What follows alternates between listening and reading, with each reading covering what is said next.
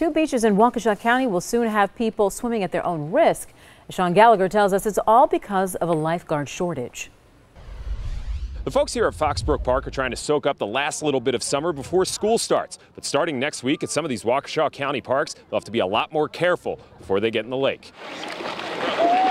Along the shore of Foxbrook Lake, lifeguards dot the beach. But soon the summer sun will be the only thing looking over the lake. Starting next week, some beaches will be without lifeguards. They start to go back to school, fall sports start to kick up. You know, with our high school and college age kids, you know, that's just about that time of the year. The last day for lifeguards at Menomonee Park is Wednesday the 14th. Foxbrook Lake has until the 23rd. But that means no lifeguards for Labor Day, which could impact some families' decisions. I think it's good for a lot of families who aren't as comfortable with the water as I might be. Um, I think it's helpful for a lot of families with small kids. Do you think that you guys would think about coming to the beach if there were no lifeguards here? I would definitely have second thoughts, um, especially if it were a really busy beach like it is today.